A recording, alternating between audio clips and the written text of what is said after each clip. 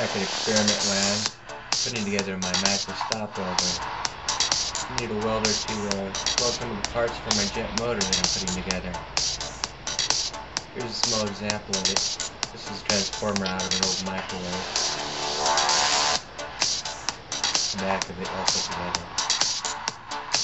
Here's the back of it before I removed the secondary power source. That's with the secondary completely removed now.